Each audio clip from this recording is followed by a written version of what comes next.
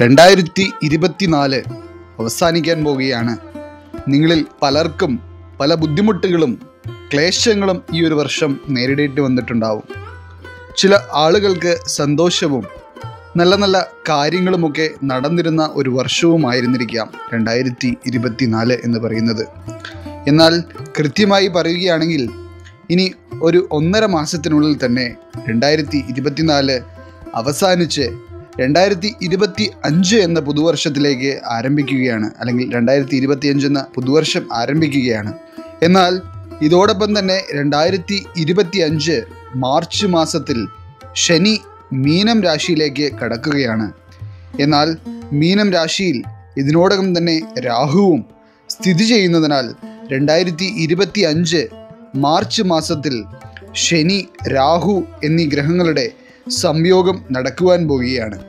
അതിനാൽ രണ്ടായിരത്തി ഇരുപത്തി അഞ്ച് മാർച്ച് മാസത്തോടുകൂടി ചില നക്ഷത്രക്കാർക്ക് അതീവ ദോഷകരവും അപകടകരവുമായ കാര്യങ്ങൾ ജീവിതത്തിൽ തരണം ചെയ്യേണ്ടി വരും. ഇന്നത്തെ അധ്യായത്തിൽ നാം അതിനെപ്പറ്റിയാണ് വിശദീകരിക്കാൻ പോകുന്നത്. എല്ലാവർക്കും ഇന്നത്തെ അധ്യായത്തിലേക്ക് സ്വാഗതം. നാം ഇപ്പോൾ പറയുന്ന നാളുകാർക്ക് ഇതിന്റെ ഫലമായി ഉണ്ടാകുവാൻ പോകുന്നത് അവരുടെ ജീവിതത്തിൽ ഇതുവരെ അനുഭവിച്ചിട്ടില്ലാത്ത രീതിയിലുള്ള ക്ലേശങ്ങളും ദുരിതങ്ങളും കൂടാതെ രോഗങ്ങളൊക്കെ മാറി മാറി അവർക്ക് വരികയും സാമ്പത്തികമായി വളരെയധികം ബുദ്ധിമുട്ടുകൾ നേരിടേണ്ടി വരികയും മരണത്തിലേക്ക് തന്നെ പോകുവാൻ ഇടയുള്ള കാര്യങ്ങൾ അവരുടെ ജീവിതത്തിൽ വന്നു ചേരുവാനുമൊക്കെ സാധ്യതയുള്ള ഒരു സമയമാണ് ഇത് എന്ന് പറയുന്നത്. ശനി രാഹു സംയോഗം ഏറ്റവും അധികം ബാധിക്കുവാൻ പോകുന്ന നാളുകാർ ആരൊക്കെയാണെന്നുള്ളതാണ് നാം ഇനി പരാമർശിക്കാൻ പോകുന്നത്. അതുമാത്രമല്ല ഞാനിപ്പോൾ പറയുവാൻ പോകുന്ന നക്ഷത്രക്കാർ രണ്ടായിരത്തി ഇരുപത്തിയഞ്ച് പിറക്കുന്നത് മുതൽ ചെയ്യുന്ന ഓരോ കാര്യങ്ങളിലും അതീവ ശ്രദ്ധാലുക്കളായിരിക്കണം. എന്തുകൊണ്ടെന്നാൽ അവർ ചെയ്യുന്ന ഓരോ കാര്യങ്ങളും ഒരു അപകടം പതിയിരിക്കുന്ന ഒരവസ്ഥയാണ് വരുവാൻ പോകുന്നത്. അതുമാത്രമല്ല ഞാനിപ്പോൾ പറയുവാൻ പോകുന്ന നക്ഷത്രക്കാർ രണ്ടായിരത്തി ഇരുപത്തിയഞ്ച് പിറക്കുന്നത് മുതൽ ചെയ്യുന്ന ഓരോ കാര്യങ്ങളിലും അതീവ ശ്രദ്ധാലുക്കളായിരിക്കണം. കാരണം അവർ ചെയ്യുന്ന ഓരോ കാര്യങ്ങളിലും ദുരനുഭവമോ അവർ ആഗ്രഹിക്കാത്ത രീതിയിലുള്ള പരാജയങ്ങളുമൊക്കെ അവർ നേരിടേണ്ടി വരും. ഇതിൽ ഒന്നാമത് വരുന്നത് മീനം രാശിക്കാരാണ്. അതായത് മീനം രാശിയിൽ വരുന്ന പൂരുരുട്ടാതി അവസാന കാൽഭാഗം ഉത്രട്ടാതി രേവതി എന്ന് മൂന്ന് നക്ഷത്രക്കാരാണ് ഈ രാശിയിൽ വരുന്നത്. ശനി രാഹു സംയോഗം നടക്കുന്നത് മീനം രാശിയുടെ ലഗ്നഭാവത്തിലാണ്. അതിനാൽ തന്നെ ഈ രാശിയിൽ ജനിച്ചവർക്ക് രണ്ടായിരത്തി ഇരുപത്തിയഞ്ചിന്റെ തുടക്കം മുതൽ തന്നെ ചില തടസ്സങ്ങളൊക്കെ അനുഭവപ്പെടാൻ ഇടയാവുകയും രണ്ടായിരത്തി ഇരുപത്തിയഞ്ച് മാർച്ച് മാസത്തോടു കൂടി അതായത് ശനി രാഹു സംയോഗത്തോടു കൂടി അവരുടെ ജീവിതത്തിൽ വളരെയധികം പ്രതിസന്ധികൾ വന്ന് നേരിടുകയും ചെയ്യും. ഏതൊരു കാര്യം ചെയ്യണമെന്ന് വിചാരിച്ചാലും അതിലൊരു തീരുമാനമെടുക്കാൻ കഴിയാത്ത രീതിയിലുള്ള ബുദ്ധിമുട്ടുകൾ ഒരുപാട് സാമ്പത്തിക നഷ്ടങ്ങൾ വാഹനങ്ങളൊക്കെ ഓടിക്കുന്നവർ ഒരുപാട് ശ്രദ്ധിച്ചിരിക്കേണ്ട ഒരു സമയമാണ് ഇത് എന്ന് പറയുന്നത്. അപകട സാധ്യതയൊക്കെ വളരെയേറെ കാണുന്നു. അതിനാൽ നിങ്ങൾ എല്ലാവരും ശ്രദ്ധയോടെ കൂടുതൽ ഈശ്വരപ്രീതി ലഭിക്കുന്നതായ കാര്യങ്ങൾ ചെയ്യുവാനും മറക്കാതിരിക്കുക.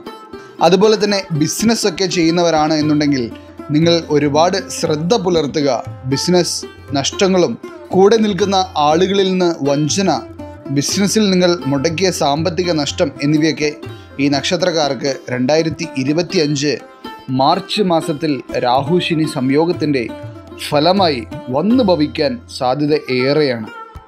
അതുകൊണ്ട് തന്നെ നിങ്ങൾ രണ്ടായിരത്തി ഇരുപത്തിയഞ്ച് മാർച്ച് മുതൽ എന്ത് ഒരു തീരുമാനമെടുക്കണം എന്നുണ്ടെങ്കിലും നിങ്ങളുടെ സ്വയം തീരുമാനങ്ങളായി എടുക്കുവാൻ ശ്രമിക്കുന്നതായിരിക്കും ഏറ്റവും ഉത്തമം.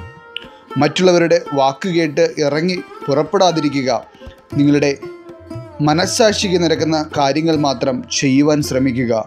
ഒരു കാര്യം ചെയ്താൽ അത് വിജയം കാണും. നിങ്ങളാൽ അത് ചെയ്യുവാൻ സാധിക്കും എന്ന് നിങ്ങൾക്ക് തോന്നുന്നുണ്ടെങ്കിൽ മാത്രം അവ തുടങ്ങി വയ്ക്കുക നിങ്ങൾ ചെയ്യുന്ന ഓരോ പ്രവൃത്തിയും അത്രയേറെ സൂക്ഷ്മതയോടെ ചെയ്യുവാൻ ശ്രമിക്കുക.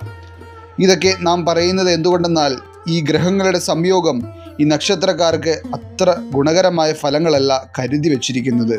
അടുത്തതായിട്ട് വരുന്നത് മകരം രാശിക്കാരാണ്.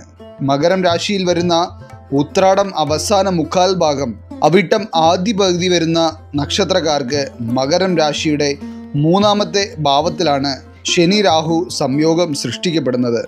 അതിനാൽ തന്നെ മകരം രാശിയിൽ വരുന്ന ഈ നക്ഷത്രക്കാർക്ക് ഒട്ടും തന്നെ ശുഭകരമായിട്ടുള്ള കാര്യങ്ങളായിരിക്കില്ല അവരുടെ ജീവിതത്തിൽ രണ്ടായിരത്തി ഇരുപത്തിയഞ്ച് മാർച്ച് മാസത്തിൽ ഉണ്ടാകുവാൻ പോകുന്നത്.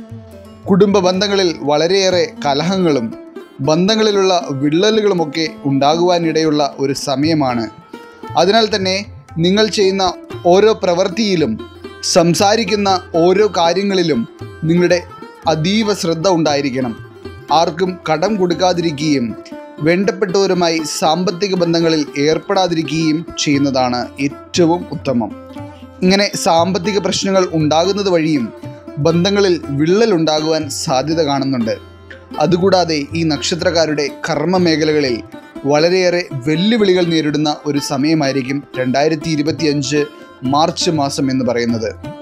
പുതിയ ജോലിയൊക്കെ ശരിയായി എല്ലാ കാര്യങ്ങളും ശരിയായതിനു ശേഷം ചില തടസ്സങ്ങൾ നേരിടുവാനും പ്രൊമോഷനൊക്കെ ലഭിക്കേണ്ട ആളുകൾക്ക് അതിലൊരു തടസ്സം വന്ന് ഭവിക്കുവാനും ഇടയുണ്ട്. ഇനി നിങ്ങൾ ഏറ്റവും അധികം ശ്രദ്ധിക്കേണ്ട ഒരു കാര്യം എന്ന് പറയുന്നത് വാഹനമൊക്കെ ഓടിക്കുന്നവരാണെങ്കിൽ വളരെ സ്പീഡ് കുറച്ച് വാഹനം ഓടിക്കുക. അതുമാത്രമല്ല ദൂരയാത്രകളൊക്കെ രണ്ടായിരത്തി ഇരുപത്തഞ്ച് മാർച്ച് മാസത്തിൽ പരമാവധി ഒഴിവാക്കുവാൻ ശ്രമിക്കുക. വാഹനപരമായുള്ള അപകടങ്ങളും അതുപോലെ തന്നെ മൃഗങ്ങളിൽ നിന്നുള്ള അപകടങ്ങളുമൊക്കെ നിങ്ങൾക്ക് വന്ന് നേരിടുവാൻ ഇടയുണ്ട്. വീട്ടിൽ വളർത്തുന്ന മൃഗങ്ങളായിക്കോട്ടെ അതല്ല എന്നുണ്ടെങ്കിൽ നിങ്ങൾ എവിടെയെങ്കിലുമൊക്കെ യാത്രയൊക്കെ പോകുമ്പോൾ വഴിമധ്യേ വന്യമൃഗങ്ങളിൽ നിന്നുള്ള ആക്രമണങ്ങളുമൊക്കെ മറ്റും നേരിടുവാനുള്ള സാധ്യതയും ഇവിടെ ഉള്ളതാണ്. അതിനാൽ നിങ്ങൾ ചെയ്യുന്ന ഓരോ ചെറിയ കാര്യങ്ങളിലും അതീവ ശ്രദ്ധ പുലർത്തുക. അടുത്തതായി കന്നി രാശിയാണ്. ഉത്രം അവസാന മുക്കാൽ ഭാഗം അത്തം ചിത്തിരിയുടെ ആദ്യ പകുതി ഭാഗം. വരുന്ന നക്ഷത്രക്കാർക്ക് ശനി രാഹു സംയോഗം നടക്കുന്നത് കന്നി രാശിയുടെ ഏഴാം ഭാവത്തിലാണ്. അതിനാൽ തന്നെ കന്യരാശിക്കാർക്കും ശനി രാഹു സംയോഗം നല്ല ഭാവത്തിലല്ല നടക്കുന്നത്. അശുഭകരമായിട്ടുള്ള കാര്യങ്ങൾ അവരുടെ ജീവിതത്തിൽ രണ്ടായിരത്തി ഇരുപത്തി അഞ്ച് മാർച്ച് മാസം വളരെയധികം വന്നു ഭവിക്കാൻ ഇടയുണ്ട്. അതിനാൽ ഈ നക്ഷത്രക്കാർക്ക് നിങ്ങൾ കഷ്ടപ്പെട്ട് ചെയ്യുവാൻ ഉദ്ദേശിക്കുന്ന ഒരു കാര്യങ്ങൾക്കും അതിന്റേതായ ഫലം ലഭിക്കാതെ വരികയും അതുമൂലം നിങ്ങളുടെ മാനസികാരോഗ്യം തകിടം മറിയുന്ന അവസ്ഥ വരുന്നതായി രണ്ടായിരത്തി ഇരുപത്തിയഞ്ച് മാർച്ച് മാസത്തിലെ ഫലത്തിൽ കാണുന്നുണ്ട്. ഇതുമാത്രമല്ല കുടുംബജീവിതത്തിലെ സമാധാനക്കേടുകളും ദാമ്പത്യ ജീവിതത്തിലുള്ള പൊരുത്തക്കേടുകളുമൊക്കെ ഈ ഒരു സമയത്ത് വളരെ കൂടുതലായിരിക്കും നടക്കാൻ പോകുന്നത്. പുതിയതായി വിവാഹം കഴിഞ്ഞിട്ടുള്ള ദമ്പതികളിൽ പോലും ഈ നക്ഷത്രക്കാരിൽ വിവാഹം കഴിഞ്ഞ ഉടനെ തന്നെ സ്വരച്ചേർച്ചയില്ലാത്ത അവസ്ഥയും ഈ ഒരു മാസം കൊണ്ട് വിവാഹം പിരിയുന്ന രീതിയിലുള്ള അവസ്ഥയിൽ വരെ ചെന്നെത്തുവാനും നീ രാഹു സംയോഗത്തിന്റെ ഫലമായി വരുവാനിടയുണ്ട് വിവാഹം കഴിഞ്ഞാൽ മക്കളിൽ ഉണ്ടാകുന്ന ഇത്തരം പ്രശ്നങ്ങൾ മാതാപിതാക്കളുടെ മനസമാധാനം തകർക്കുന്ന ഒരവസ്ഥ അതുകൂടാതെ പഠിക്കുന്ന കുഞ്ഞുങ്ങൾക്ക് വിദ്യാഭ്യാസത്തിൽ ബുദ്ധിമുട്ടുകൾ അത് കൂടാതെ അവരുടെ വിദ്യാഭ്യാസം മുടങ്ങുന്ന രീതിയിലുള്ള ആരോഗ്യ പ്രശ്നങ്ങൾ അവർക്ക് വരുവാനും ഒക്കെ ഈ ഒരു നാളുകാരിൽ സാധ്യത കാണുന്നു. അതായത് ഈ നക്ഷത്രക്കാരായി വരുന്ന മാതാപിതാക്കൾക്ക് മക്കളുമായി പിണക്കങ്ങൾ അതുപോലെ മക്കളുമായി വാക്ക് തർക്കങ്ങളൊക്കെ വരുവാനും കുടുംബത്തിൽ സ്നേഹവും ഐക്യതയുമൊക്കെ നഷ്ടപ്പെടുന്ന ഒരു അവസ്ഥ വന്നു ചേരുവാനും ഈ ഒരു സമയത്ത് ഇടയാകുന്നു. ഇനി ബിസിനസ്സൊക്കെ ചെയ്യുന്നവരാണെങ്കിൽ നിങ്ങളുടെ പങ്കാളികളിൽ നിന്ന് ചതിവും അതുപോലെ തന്നെ നിങ്ങൾ മുടക്കിയ പണം വളരെ വലിയ രീതിയിൽ തന്നെ നഷ്ടങ്ങളിലേക്ക് പോകുവാനുമൊക്കെ സാധ്യത കാണുന്നുണ്ട്. അതിനാൽ നിങ്ങൾ എടുക്കുന്ന ഓരോ ചെറിയ തീരുമാനങ്ങൾ പോലും വീണ്ടും വീണ്ടും ആലോചിച്ചതിന് ശേഷം മാത്രം തീരുമാനത്തിലേക്ക് എത്തുക. മറ്റുള്ളവരുടെ അഭിപ്രായങ്ങൾ കേട്ട് എടുത്തു ചാടി ഒരു തീരുമാനങ്ങളും ജീവിതത്തിൽ എടുക്കാതിരിക്കുക. രണ്ടായിരത്തി ഇരുപത്തിയഞ്ച് മാർച്ച് മാസത്തിൽ കഴിവതും രണ്ടായിരത്തി ഇരുപത്തിയഞ്ചിന്റെ തുടക്കത്തിൽ പാർട്ട്ണർഷിപ്പ് ബിസിനസ്സുകളൊക്കെ അതായത് കുറച്ച് പേർ ചേർന്നോ നിങ്ങൾ മറ്റൊരാളോട് ചേർന്നോ ഒക്കെ ബിസിനസ് കാര്യങ്ങൾ തുടങ്ങാതെ ഇരിക്കുന്നതാണ് ഏറ്റവും ഉചിതമായിട്ടുള്ളത്. രണ്ടായിരത്തി ഇരുപത്തിയഞ്ച് മാർച്ച് മാസം ഒന്ന് കഴിഞ്ഞതിന് ശേഷം നിങ്ങൾക്ക് ഇത്തരത്തിലുള്ള കാര്യങ്ങളെല്ലാം വളരെ നല്ല രീതിയിൽ തുടങ്ങാവുന്നതാണ്. കാരണം ഞാനിപ്പോൾ പറഞ്ഞ രാശിക്കാർക്ക് ശനിയുടെയും രാഹുവിന്റെയും സംയോഗം നിമിത്തം ഉണ്ടാകുവാൻ പോകുന്ന ഫലങ്ങൾ എന്ന് പറയുന്നത് നിസ്സാരമായി കാണുവാൻ കഴിയുന്ന ഒന്നല്ല.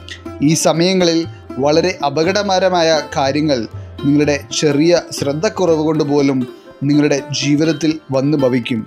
ശനി രാഹുവിന്റെ സംയോഗത്തിൽ ഉണ്ടാകുന്ന ആ ഒരു ഫലങ്ങളെ പിശാചി യോഗം എന്നാണ് പറയുന്നത്. എന്തുകൊണ്ടെന്നാൽ അത്രയേറെ ദുശ്ശകുനങ്ങൾ നിറഞ്ഞ ചെയ്യുന്ന എല്ലാ കാര്യത്തിലും തടസ്സങ്ങൾ നേരിടുകയും ആപത്തുകൾ പതിയിരിക്കുകയും ചെയ്യുന്ന ആ ദിവസങ്ങളായിരിക്കും അത്. ഈ പറഞ്ഞിട്ടുള്ള ഒമ്പത് നക്ഷത്രക്കാർക്കും ശനി രാഹു സംയോഗം നടന്നതിനു ശേഷം അതായത് രണ്ടായിരത്തി ഇരുപത്തഞ്ച് മാർച്ച് മാസത്തിൽ പല കാര്യങ്ങളും ചെയ്യണമെന്നും അതുപോലെ തന്നെ യാത്രകൾ പോകണമെന്നും ചില കാര്യങ്ങളിലൊക്കെ ഇടപെടണമെന്നും ഒക്കെ വളരെയധികം മാനസികമായി തോന്നലുകൾ ഉളവാക്കും. എന്നാൽ സൂക്ഷിച്ചില്ല എന്നുണ്ടെങ്കിൽ ഏറ്റവും അപകടകരമായ കാര്യങ്ങൾ ആയിരിക്കും വന്നു ഭവിക്കുന്നത്.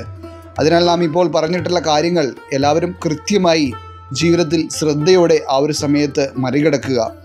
നിങ്ങളുടെ പ്രത്യേക പ്രാർത്ഥനാ വിഷയങ്ങൾ എന്തെങ്കിലുമൊക്കെ ഉണ്ടെങ്കിൽ എഴുതി അറിയിക്കുക. നാം നമ്മുടെ പൂജകളിലും പ്രാർത്ഥനകളിലുമൊക്കെ നിങ്ങളുടെ പ്രത്യേകം പേരുകൾ ഉൾപ്പെടുത്തുന്നതായിരിക്കും. നന്ദി നമസ്കാരം.